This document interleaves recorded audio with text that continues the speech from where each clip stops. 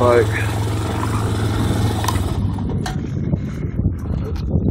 Dylan Little. I'm gonna go up a steeple hill and catch some air.